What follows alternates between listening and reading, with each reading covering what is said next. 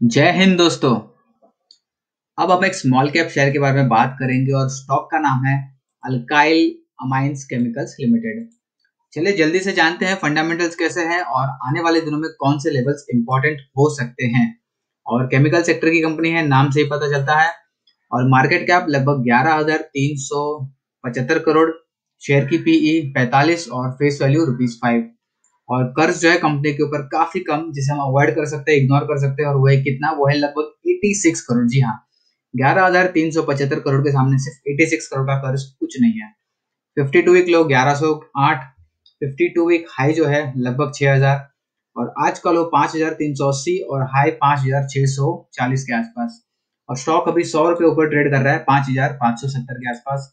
और share holding promoters की holding बढ़िया, लगभग 74.13 परसेंट फिर पब्लिक यानी रिटेल निवेशक 23.13 परसेंट फिर डी आई आई 1.78 परसेंट फिर एफ़ आई आई 0.95 परसेंट और अदर्स के पास 0.01 प्रमोटर्स की होल्डिंग काफ़ी बढ़िया ऑलमोस्ट कांस्टेंट पिछले पाँचों क्वार्टर में और एक भी शेयर प्लेज नहीं किया है, एक भी शेयर गिरवी नहीं रखे हैं.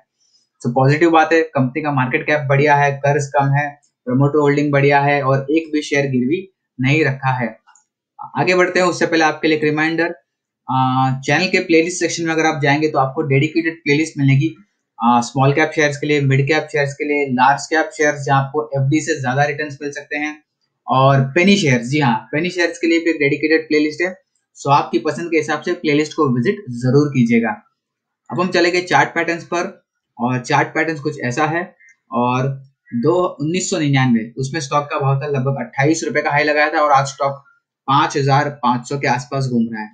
सो so, फिर से एक मल्टीबैगर स्टॉक और जानने की कोशिश करते हैं और उसके लिए लेवल्स को जो है डेली बेसिस पे कन्वर्ट करेंगे और चार्ट को हमने कन्वर्ट कर दिया है डेली बेसिस पे। और सबसे पहले स्टॉक का अगर एक ट्रेंड चेक करेंगे ट्रेंड को चेक करे करेंगे तो पता चलता है ये। स्टॉक का ट्रेंड जो है वो ऊपर ही है। स्टॉक का जो ट्रेंड है वो ऊपर ही है ओके और अब पिछले दिनों स्टॉक ने हाई लगा दिया था और वो हाई क्या था? और वो हाई था ये, पाँच हज़ार छह सौ दस। जी हाँ पाँच हज़ार छह सौ दस। ये लेवल काफ़ी इंपॉर्टेंट होने वाला है। पाँच हज़ार छह सौ दस। और प्रेजेंट प्राइजेस के नीचे है, इसलिए मैं इसे राइट में राइट कलर दे रहा हूँ।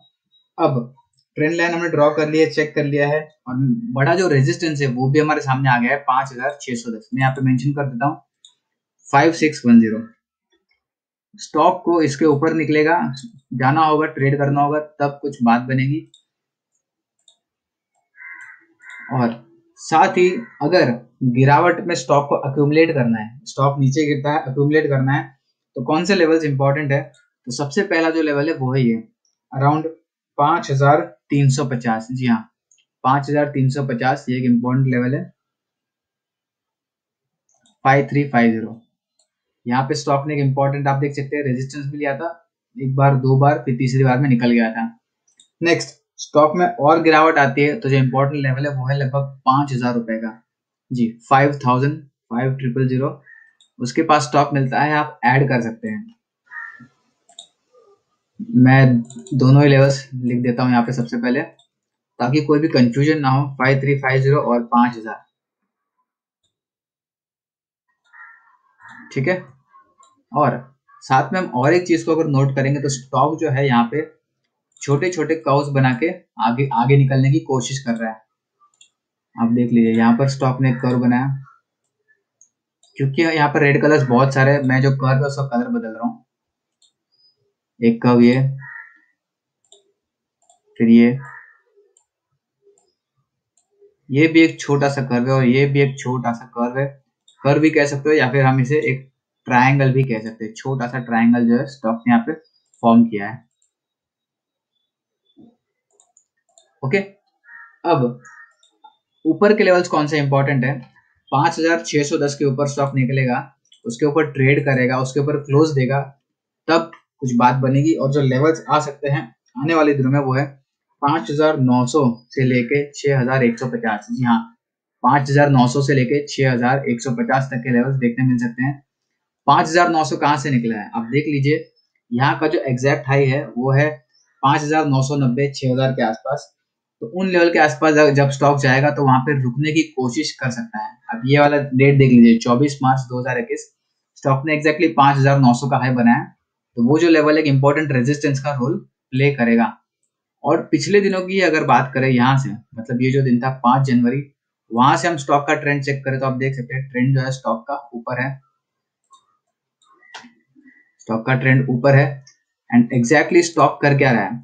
स्टॉक कर रहा है ये, और वो है एक एसेंडिंग ट्रायंगल जो होता है, उसकी ब्रेकआउट की पूरी तैयारी कर रहे हैं यहाँ पे आप, देख लीजिए। जो ट्रेंड लाइन था, उसी के साथ हमने मैच किया अब देख लीजिए। इस तरह से जो स्टॉक है, अब ब्रेकआउट करने की कोशिश कर रहा है। ऐसा भी हो सकता है, इन लेवल के आसपास स्टॉक जो है, थोड़ा सा कंसोलिडेट करे, थोड़ा सा सुस्ता है।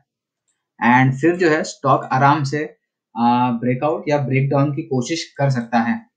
तो सारे जो इंपॉर्टेंट लेवल्स है, आपके लिए यहाँ पर मेंशन कर दिए गए हैं। ये रेजिस्टेंस का लेवल ये ऊपर के टारगेट्स जो टेस्ट हो सकते हैं आने वाले दिनों में। एंड नीचे के लेवल्स जहाँ पे हम स्टॉक को अक्यूमुलेट कर सकते हैं। मैं दो या तीन लेवल्स इसीलिए देता हूँ हमेशा, ताकि मैं हर एक पर्टिकुलर हर एक शेयर के ऊपर वीडियो हर तीन, चार, छह दिन में नहीं बनाता हूँ।